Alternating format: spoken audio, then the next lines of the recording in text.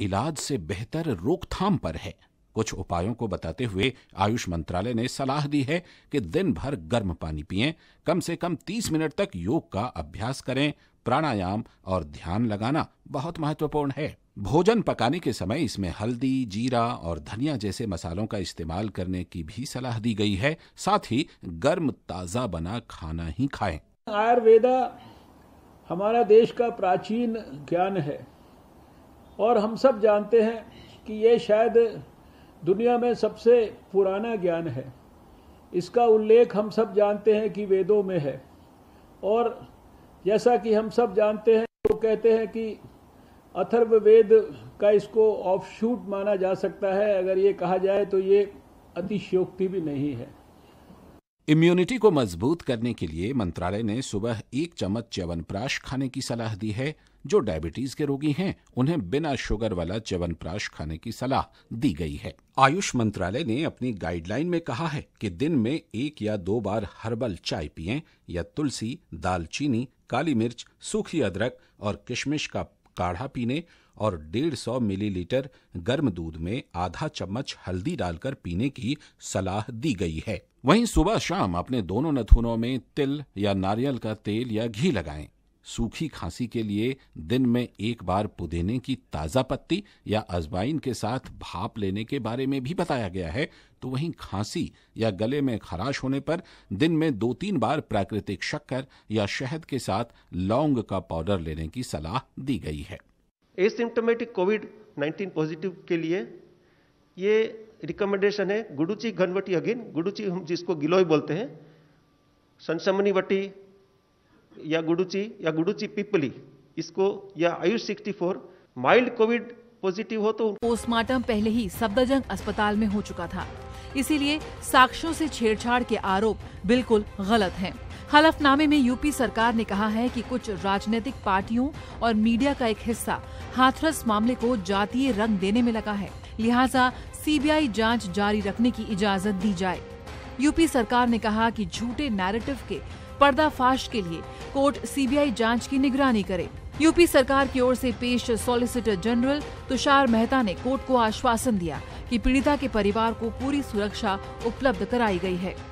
हमने जो कहा है, हमने कोर्ट में जाके कह रहे हैं, वो भी सुप्रीम कोर्ट में, उच्चतम न्यायालय में जाके खड़े होकर कहा है, एफिडेविट के माध्यम से कहा है कि आप सीबीआई मॉनिटर करें, हमें कोई आपत्ति नहीं है। अब इससे ज़्यादा क्या हो सकता है एक सरकार की तरफ़? क्या छुपाएगी? वो तो कह रहे हैं कि हमारे से आप ले लो, आप ही इंक्वायरी करो, आप ही मॉनिटर करो। और सेंट्रल एजेंसी अनुमति होगी। हॉल के अंदर बैठते समय उचित शारीरिक दूरी का पालन करना होगा। हाथ साफ़ करने और सैनिटाइजर की उचित व्यवस्था भी होगी। सभी लोगों को आरोग्य सेतु ऐप उपयोग करने की सलाह दी गई है। थर्मल स्क्रीनिंग की व्यवस्था होगी। बिना लक्षण वाले लोगों को ही मिलेगा प्रवेश। टिकट खिड़की पर कतार में दूरी का पालन कराने के लिए ज़मीन पर मार्किंग होगी। दर्शकों को स्वास्थ्य का निजी निरीक्षण और तबीयत खराब होने पर सूचित करना होगा। अलग अलग स्क्रीन के लिए अलग अलग शो टाइम होंगे। डिजिटल भुगतान को बढ़ावा दिया जाएगा। टिकट खिड़की सहित अन्य स्थानों का नियमित निसंक्रमण और सफ़ाई होगी। टिकट खिड़कियों की पर्याप्त उपलब्धता सुनिश्चित करनी होगी। माध्यांतर के बीच लोगों के अनावश्यक घूमने पर रोक होगी। दिन भर खुली रहेंगी टिकट खिड़की। भीड़ से बचने के लिए एडवांस बुकिंग की व्यवस्था होगी। थूकने पर पूर्णतः प्रतिबंध है। मास्क लगाने सहित अन्य ज़रूरी नियमों का पालन अनिवार्य होगा। सिर्फ़ डब्बा बंद खाने पीने की वस्तुओं की अनुमति ही होगी। हॉल के अंदर नहीं होगी खाने की डिलीवरी। खाने पीने की वस्तुओं की बिक्री के लिए पर्याप्त खिड़कियों की व्यवस्था सुनिश्चित करनी होगी। कर्मचारियों के लिए मास्क, दस्ताने और पीपी किट होगी अनिवार्य। कॉन्टैक्ट ट्रेसिंग के लिए सभी दर्शकों का कॉन्टैक्ट नंबर लेना भी अनिवार्य होगा। कोविड 19 से संबंधित गलत व्यवहारों से सख्ती से निपटा जाएगा।